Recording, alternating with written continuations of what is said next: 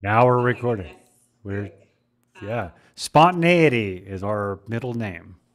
Yes, it is. How's it going? How are you? I'm fabulous, fabulous. Okay. I decided this morning I was going to take Eric Lofholm's advice. I I didn't. Uh, I've heard this from. I, I think Kamal Ravikant was the first place I heard this, but he Kamal wrote a book called "Love Yourself Like Your Life Depends on It." Oh, and he has four suggestions in there and, and uh, the two i've been practicing this morning was one's mirror work so you Hmm. look at the mirror so i'm looking at like in in zoom i'm seeing myself and i say yeah james i, I love you and it's about i love, I I love like you it. too you know so and you can do that in an actual mirror or on zoom or you can put your phone in selfie mode and you can just say looking good loving you you know so so that and then he also suggests doing an endless loop where you're you're saying i love you or i'm loving this all, all the time so that's sort of the default background uh, chatter in your brain right Hmm. so you're programming yourself you're programming yourself for loving kindness Is it a new book? no it's it's uh, book no it's been written. out um I'll, I'll send you a link to it it's it's been out for i want to say two, i want to say 2008 is my guess Okay, that's good. I mean, yeah, that's definitely on point for me today. Yeah, but yeah. yeah, so it's been on point, I guess, forever. But yeah the on my radar, my focus just now. I like yeah. that. yeah just just just be you just make the decision you make the conscious decision the conscious decision that you're going to consciously create loving kindness in your life Yeah, and I Yeah. mean, what I what I was hearing for what you were saying was a lot of self love, self appreciation. Yeah. Yep. And um, love, like, um, what's her name? She's in our group. She said that loving kindness actually is the operating system of love, unconditional love.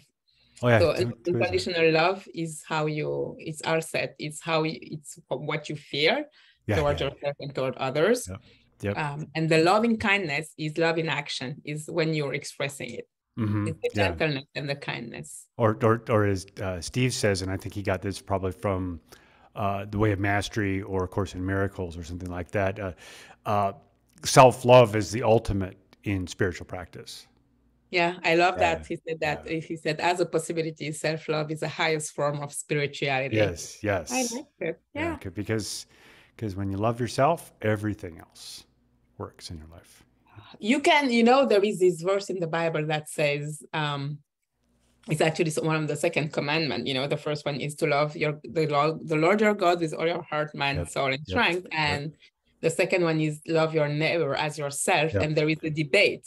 And my uh, take on it is that I can only love others at the extent that I love myself. exactly exactly Because it says love others as love self, but some would say that it's about selfless love. It's not for you, it's for other. I'm like, if you consider yourself as your neighbor, why would you love others and not yourself? well, well, It's right, and- and thinking about that considering yourself as your neighbor isn't that what we're talking about a lot your like your neighbors with your awareness of yourself right so That's what I that think, that makes sense like like you're the loving observer and and the, your neighbor inside your head is who you're observing yeah. yeah I I I think that it's Christianity, uh, and I'm going to you know call it this way. It's a lot about um, the dying to self. It's a lot about sacrificing yourself because it said that Jesus, you know, he loved us to the point of death, death on the cross. Mhm. And for me, if we add to, if we have to do something, it's just, it's like Jesus's death wasn't enough. Like I believe in Jesus, and I believe that his death took it all. And it says in the Bible, it's finished. Yeah. So I think we don't have to carry, you know, beating ourselves up. And we can just love ourselves, and the overflow of our love is going to be on others. So that's yeah, the way yeah, I there, see there you go yeah that that's the more that's- I love yeah, agree with you. myself, yes and lately I've been loving myself so much more Yeah. because for years I was self suppressing. And now I am in this stage where I love myself more than anything else. And Yeah. because I love myself so much, oh my goodness, the ripple is on everyone. My kids, Yes. my children tell me, Mom, you're so kind, you're love. So I see transformation. I've experienced both, you know, forgetting Yeah. about forgetting myself and kind of being um tired, sometimes resentful, and you know, not a Mhm. lot of joy in my heart Mhm. and loving myself and being so uh you know having so much self-care for myself and so much love for myself Yes. that i can just the only thing that i can do is to love others so Yeah. Right. Yeah. Right. It, it just spills. spills that's over. lived experience Mhm. It's it's quite amazing. It's quite it's quite astounding. it's lived experience Yes. Yeah. i like to say that for me uh god and all of those things is lived experience right i can't i don't know your experience but i do know mine so my Mhm. reference my Mhm. point of point of reference is going to be my experience and i'm not going to question yours i am not going to doubt yours because it's you it's it's Yeah, and there's no there's no way you can know anyway. There's no way you can know what another's experience is. You can only, I think, assume. Um, excuse me, assume that some parts of it are going to be similar because we all have similar brains, right?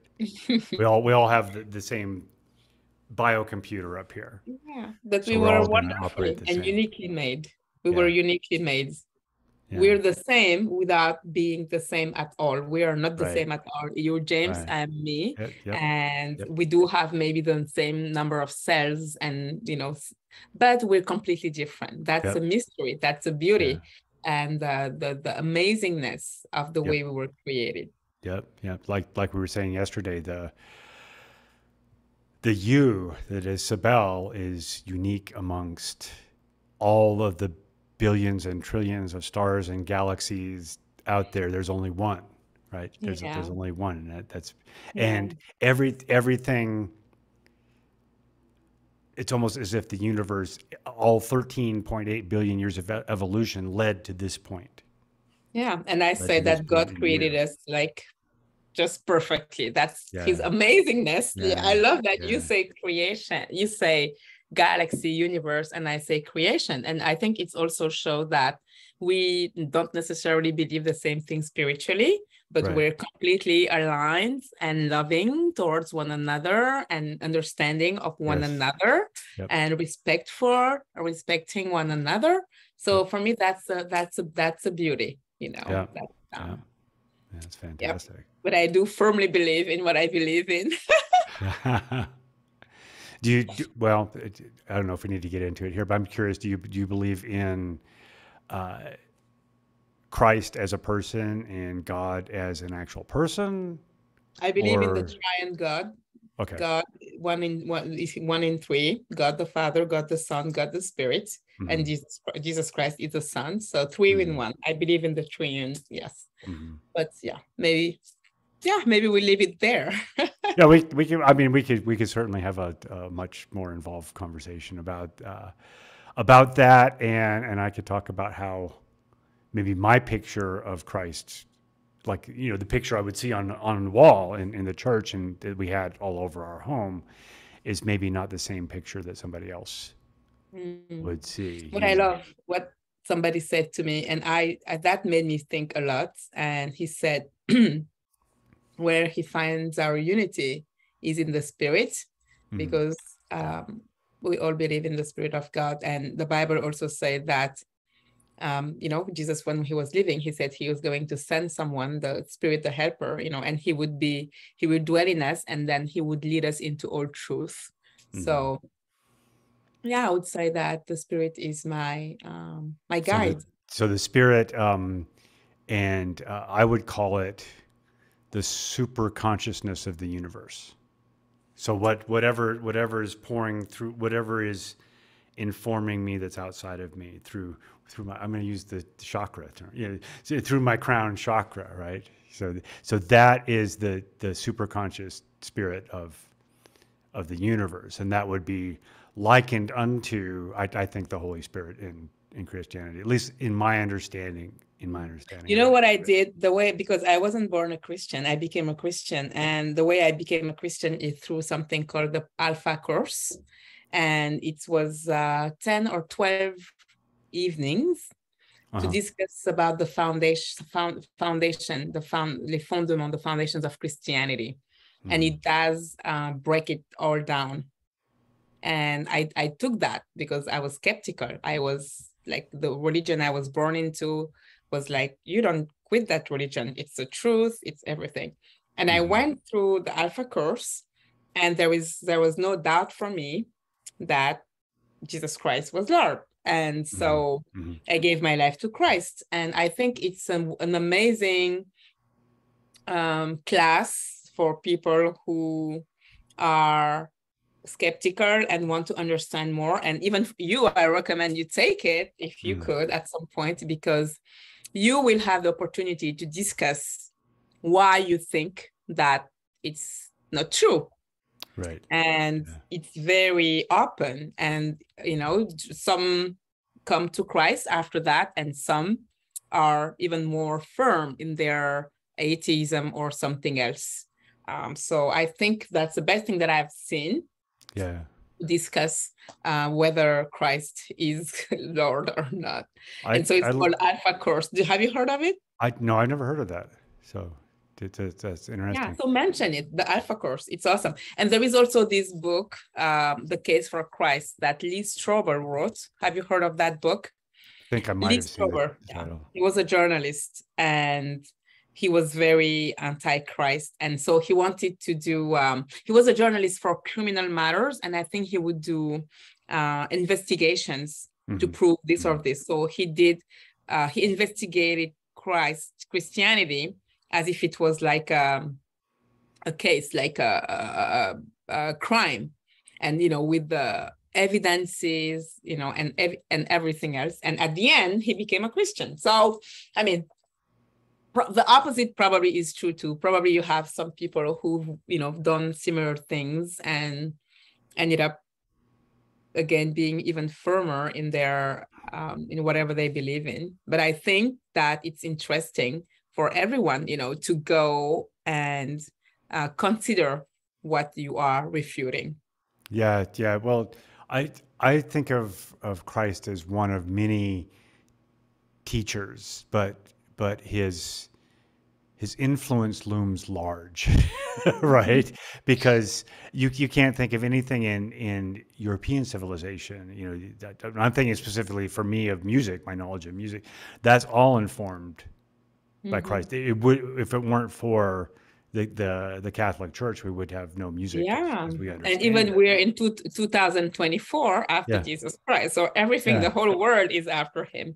Yeah, so And that it- it yeah, that influence, that two thousand years of influence. Yeah. So I, for me, it means something. But yeah, anyway. Yeah. okay. So today was uh today is my last day in Paris. I'm Mm. coming home soon. And um, you know, I do intermittent fasting and I Uh-huh. ask you 10 minutes because that's my first meal at was at 8 30 p.m. Really, So, really. So yeah. you you went that that long. So oh, usually I go till two or three. okay, I do uh, min- my minimum is um 18 hours, but I usually do 19 hours. I prefer that.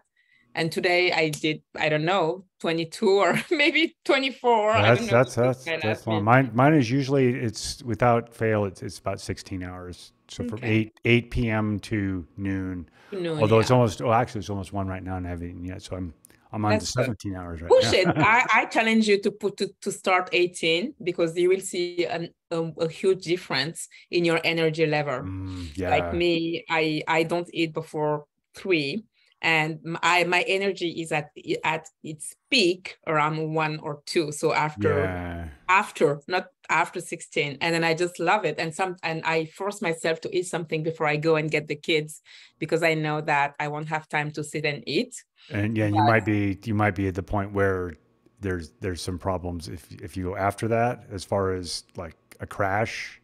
No, I don't Or- have like today I didn't crash. I was tired. I came home and I didn't actually, you know, I was filled fueled. I had energy.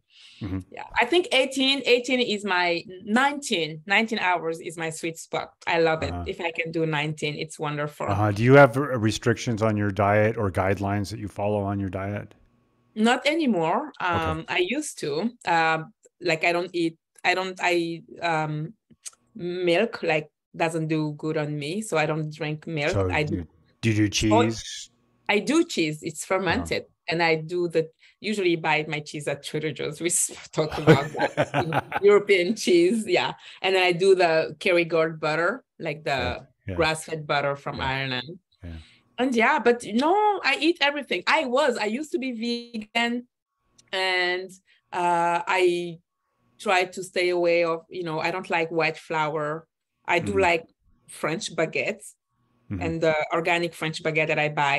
Trader Joe's is white flour, but I eat that. I don't eat it every day. Um, yeah, I like real food. I eat real food. Mm.